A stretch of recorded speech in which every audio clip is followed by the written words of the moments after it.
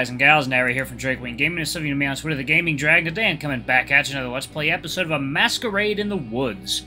So, y'all, without further ado, let's go ahead and jump right back into it, shall we? Alarm Chan, you are up, and let's go back into this horror house. Horror house, not the other kind. Okay. I shake my head to rid myself of the thought and return to reality. At least, this reality. Giant nods to the possum, taking the bottle in his big paw. He holds it up to his muzzle, but hesitates. A deep sigh rolls over his chest as he closes his eyes and throws his head back. Unlike ink, one gulp seems enough for the big dog as he quickly lowers it back down and swallows hard. Ironically, he looks to be on the verge of throwing that back up as well. I feel you, Lucas. God, what do you put in here? Ink shrugs as he steps over to the slightly ajar fridge door. Whatever I got at home. He grabs the handle and opens it further. I wipe a small stain off Giant's mask, preparing to hand it back over to him. Just as I'm about to, something else grabs my attention. What the fuck? A rustling from behind. Before I can react, someone grabs me. No. I'm yanked off balance back into someone as their arms wrap around my throat. I choke, cough, my coughing coating the inside of my mask and spit and spit in warm air. Giant's mask falls to the floor, audibly hitting the wooden planks and scurrying up off to the side. Giant and Ink both spin around at the sound. The canine immediately reaches for his rifle while Ink pulls out his pistol. Whoa, whoa, whoa, whoa, what the fuck's going on? I'm not sure Shepard mentioned anything about this in prep. Fuck. I flail, reaching for the gun stuffed in my waistband. But they're faster. They grab it, pressing the barrel against the hard plastic of the mask. My paws instead fly to grasp at the arm held around my throat, pulling on it to make space for my windpipe. Game's up, boys! Guns on the table, now! He shouts right in my ear in an accent I can't place. Can't see him, but I can smell him. It's a fitting smell for a place like this. He reeks, not only of musk, but of the same chemical scent I keep smelling. Like an unclean gym turned supply closet. Put the gun down! Let him go! The man shifts his grip and pushes the cold metal against my ear, folding it, folding it uncomfortably. I'm not asking again! He snarls and puffs impatiently. Puffs impatiently. I feel his torso rise and fall against my back, his heart beating as fast as mine. My wrists already tingling with the adrenaline pumping through my veins. Both stand firm, guns aimed at the man, subsequently at me. Giant and Ink on one side of the table, me and the man on the opposite. I've never been at the business end of a barrel before, let alone three. I hear him tighten his grip on the around the handle, and I squirm in his grasp, pulling on his arms. Let go of me! Stand still, motherfucker! I said let him go! Giant's chest heaves up and down with each rapid breath. Ink keeps stealing glances at the anxious canine, finger on the trigger.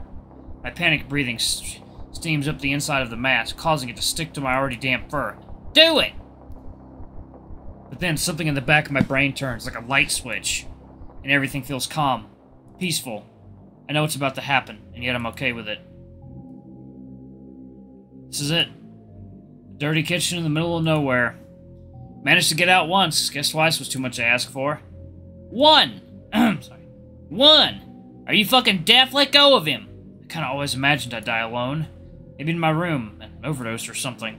Alcohol poisoning, maybe. Not some distant place in a distorted reality surrounded by talking animals. This is all just a bad dream after all. Two! He presses the cylinder into my skull. I close my eyes. Three! I miss you, Miles. I'll see you on the other side.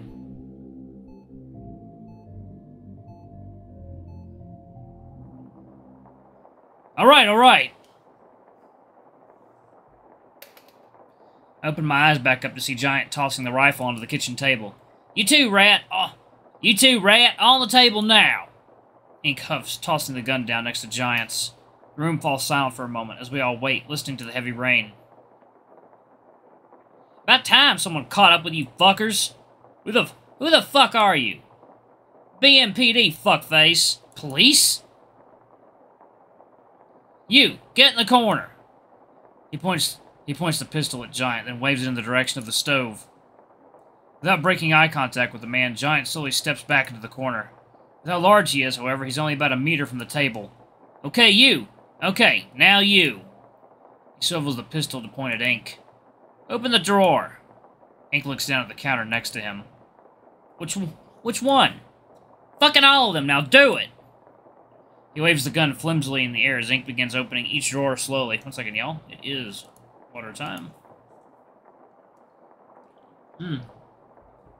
What a turn this has taken. Giant, meanwhile, looks around the room, chest still rising and falling at a fast, pay, fast, uneven pace. With his makeup trickling down the sides of his muzzle, it's difficult to see his face in the low light. The only light source coming is coming from the fridge, its door slightly ajar, letting a small sliver escape through the crack. Don't you get any fucking ideas, fatty? Giant doesn't answer, instead locking eyes with me. Even in the dark, I can see the stress and fear in them. He's just as scared as I am, but at the same time, I'm calm. Like two different sides of me fighting for the correct response, one tugging towards flight, the other tugging towards towards fight. What am I looking for exactly? Bottle, 20 ounces. Doesn't sound like much. Doesn't sound like much like police work to me. What was that, rodent? I'm marsupial, you asshole. He turns to face him fully. If you're looking for a rodent to stick your disgusting little needle dick in, there's one prepped and ready for you downstairs. I ain't no fucking queer. oh my god. His arm shoots back up, aiming the gun at the possum. Ooh. And now there was Georgie. In his aggravated stance, his grip around my neck loosens. I slip my right paw down from his arm, almost like I'm moving on instinct. Almost like I'm not entirely in control of my own actions. Might have been into some fucked up shit, but he wasn't a... Oh, God. He swivels the gun to gesture, emphasizing his point. I'm not sure you knew him too well. My claw slides through the hole in the zipper and slider of my pocket. Giant locks eyes with me, looks down at my paw, then back up. He gives me a small nod. Ink opens another drawer, sticking his paw inside and pulling out a small bottle that looks like it's full of piss. Is this... This it? I carefully, and as quietly as I can, unzip my pocket. Yeah, that's it. Now slowly come here and put it on the table. Ink takes a step forward. Slowly, I said. Alright, alright, jeez. At an even more sluggish pace, Ink takes another step. I meet his gaze through the eye holes of his mask, catching him wink. My paw slips inside the opening in my pants, wrapping my fingers around the device. Ink places the bottle down on our side of the table, then slowly backs, steps back. Once back on his side of the table, he looks over at Giant. The big dog raises a paw, scratching his scalp. He also folds his left ear down in the process. I feel the button tightening. I feel out the button, tightening my grip. Hey, Mr. Policeman? Fuck off! What's in the bottle? None of your fucking business if it's is what's in the bottle. Let's go for a little walk, you and I, he whispers in my ear. He pushes me towards the door, keeping his arm around the neck. Alright, fine. I get it. We stopped just in front of the table in the middle of the room. How about this, then? What did, the idiot shout when he saw a goose? What? I pull the taser out of my pocket. Duck! I throw my arms backwards, slamming the taser into him, and press the button. Every muscle in his body immediately tenses up, his finger squeezing the trigger. It clicks, but nothing follows. No shot goes off. I left the safety on. Feel the taser puncture skin, and when his thigh clamps shut around my paw, I know I've hit the target. I let go of the taser, pulling my back, pulling my paw back out, managed to claw myself free from his grip, throwing myself to the floor and crawling up to the counter on the side. Oh my god. Alright, y'all. One second. I got... Oh, got water break. Water break. My goodness. At the same time, Giant steps forward, putting his paws on the underside of the table and flips it. It tumbles up into the air, slamming into the stunned man and throwing him to the floor. Ink runs forward, sliding across the floor on his knees, and in one slick move, in one slick move, picks up, picks Giant's mask up off the floor and tosses it to and tosses it to him before stopping just in front of me. Giant catches his mask and slips it back over his face, rapidly walking towards the flipped-over table. Ink grabs me by the shoulders, looking deep into my eyes through the mask. It's not until he touches me I notice touches me I notice how much I'm shaking. You hurt? In the panic of everything going on around us, my throat won't allow me to speak. All I can manage as a response is to shake my head. Giant reaches back to unholster the handcuffs on his belt, grabbing the table with his other paw. The man underneath has other ideas. Once the table is off him, he sits up, something sharp and glistening in his grip. Giant! And just as quickly, he shoves it into the big dog's side. Oh no! Giant erupts into a horrible scream, somewhere between a deep bark and a whining howl. His right arm flies up before slamming back down into the man's skull hard, filling the room with the horrible crack of knuckle against bone. The man instantly goes limp on the floor. Me and Ink immediately get up and run over. Ink grabs the handcuffs from Giant's belt, bending down to restrain the man. Giant stumbles back against the counter, his paws on the knife sticking out of his abdomen. Fuck! Blood from the wound is seeping out, staining his t-shirt black and plastering it to his fur. Shit, are you okay? Of course he's not okay. He got fucking stabbed, dumbass. Giant's big arms wrap around my small frame, lifting me up off the ground. My nose is immediately filled with that sweet cinnamon scent, mixed with just a hint of musk. Are you? Yeah, I'm fine. I manage to squeal out. His grip on me slowly loosens, placing me back down on the ground. We both look down at the handle sticking out of his abdomen. It's fine. I'm fine. It's not that deep. You're bleeding! He nods, sucking the air in through his teeth. I'll be fine, he answers, his breathing heavy. His paw wraps around the handle. No, no, no, no, leave it in. You'll lose a lot more blood if you pull it out.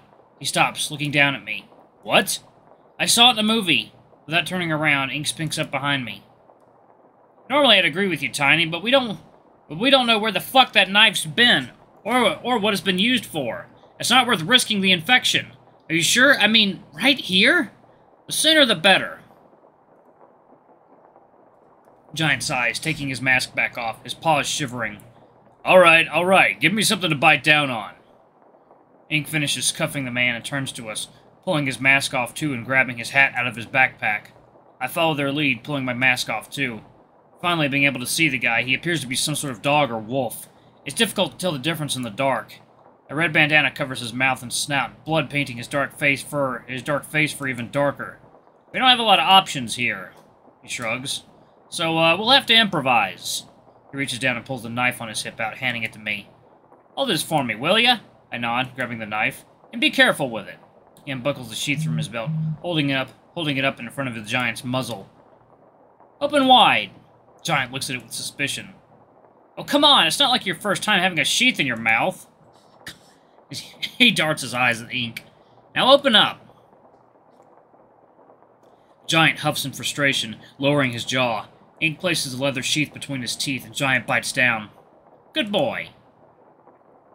The possum wraps his paw around the handle, swaying with each breath Giant takes.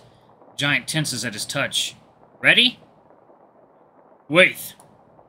Second, y'all. It is coffee time. Oh, yeah. That's the stuff. Giant mumbles through the leather. He lifts his open paw up to me. I look up at him, a bit shocked he'd offer. He looks back down at me with a sheepish grin, his teeth a stark white in the low light. I smile back at him reassuringly, placing my paw on his. I guess that confidence isn't entirely limited to the mask.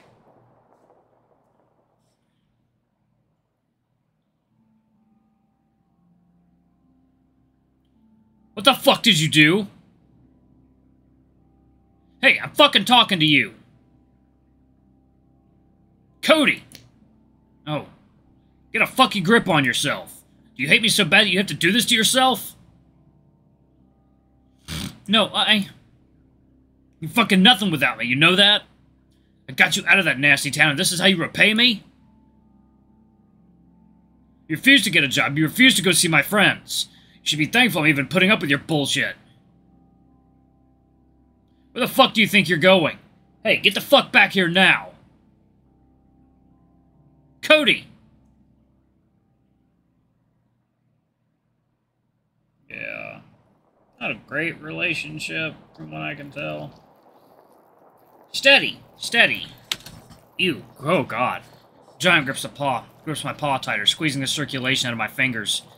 I tell him to ease up, but considering the circumstances, I'm not in a situation to complain. Each breath leaving his heaving chest is underlined by a deep growl, emphasizing the agony he must be in. Ink slowly pulls on the handle, the blade sliding out centimeter by centimeter. His breathing starts picking up speed. You're doing great, I say in a low voice, rhythmically squeezing his paw in an effort to steady his breathing. He closes his eyes, and slowly his breathing levels out. He suddenly groans loud, panting through the leather. His fist slams into the countertop. Fuck! Sorry, sorry. Didn't mean to twist it. The final centimeter of steel slides out, and Ink places, places it down on the counter. Alright, almost done. His flask comes out, back out, its contents slushing out the inside. Ink rolls Giant's shirt up just enough to see the wound, exposing his stomach, now more black than brown. Well, he was right in that it doesn't look too deep. It's still a large gash. He might need stitches for that. Then again, it's difficult to see see exactly with all the blood-soaked fur and low light. Shame to waste good spirit, but you need this more than I do right now. Hang in there, big guy. This'll sting. He tips the bottle pouring some of the clear liquid down the side of Giant's stumped belly. His eyes go wide, before shutting it tight, tears forming along the sides. He manages to wash some of the blood off his fur, but some of it has already oxidized. The leather, she leather sheath in his muzzle does a good enough job stopping him from biting his own tongue off, even if he punctures it with his large fangs. As for, the, as for sound suppression, however, it's less effective. A long, high-pitched whine echoes throughout the kitchen, like a dog in pain, which I guess makes sense. His grip on my paw tightens again. Ink only pours for a few seconds before he screws the cap back on. Do I have anything to cover it? Ink, Ink swings his backpack off his shoulder and opens it, pulling out a roll of duct tape. Really? It's the best we got. He pulls a strip, a strip, a strip of tape out, using his fangs to bite it off. Man, River's seriously gonna have to, gonna have me neutered for botching this shit. Giant, Giant pants as Ink applies the piece of tape. Don't worry, I'll keep her off your back. You better. You owe me for using up the last of my booze. He chuck, Giant chuckles and immediately grunts in pain. I'll buy the next round of the Golden Stag. Deal, Ink says as he thumbs the piece of duct tape in place. We spend the next few minutes gathering our stuff back up. Flashlights, guns, taser. Uh, alright, y'all. I'm going to go ahead and stop it right there. Thank you all so much for watching. Don't forget to like, comment, subscribe, ring that notification bell. Leave a super thanks or tip if you can. It always helps.